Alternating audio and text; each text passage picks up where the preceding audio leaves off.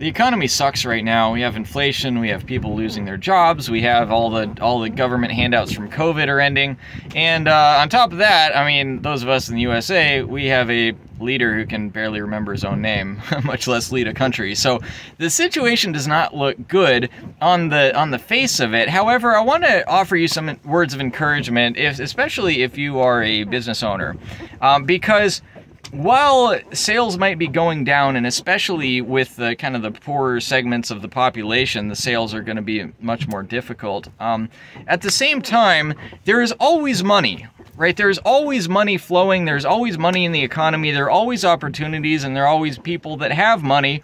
Um, and frankly, there's always a government that's going to be printing lots of money, and the, that government is going to print that money and then give it to the banks, and then the banks are going to give it to their friends, and their friends are going to give it to their friends, and they're going to buy stuff. And like, there's always money flowing, no matter how bad the economy might look. And in fact, if you, I, I went and looked up the statistics on this, or the numbers on this just recently. During the Great Depression, during the worst part of the Great Depression, the unemployment rate was 25% right? So 25% of the people looking for jobs could not find jobs, which is bad. I mean, historically, 25% is really, really high. That's really bad. However, that still means that 75% of people, the majority of people, were able to keep their jobs, even during the worst economic time in US history. So, what that means is if you are a business owner, you know, you might lose out on the people that are that are losing their jobs, the 25%, let's say, if this is as bad as the Great Depression, which yeah, who knows, right? It, it could be terrible. Like I wouldn't be surprised, but even if it's on par with the worst economic time in history, we still have 75% of people that are still making money that can still buy our products. Now, with inflation and stuff, it means that most people are getting poorer. That's true.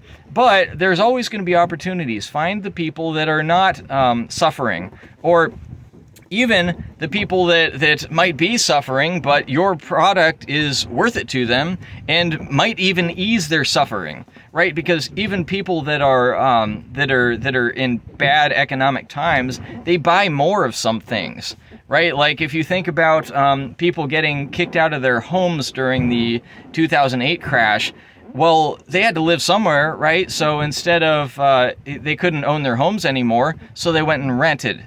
Well, while the home prices were going down, the rental prices were going up, right? The landlords, the people that were uh, have it, renting out their houses, were doing pretty well. So there's always, even in a down economy, there's always the people that that still have the money that you can sell to, and there's the people that are that are suffering that you can help them ease their suffering, right? You can offer them a cheaper, a more affordable option. You can help them save money in some way, and then they'll be glad to pay you for that. So don't be discouraged. Just be adaptable.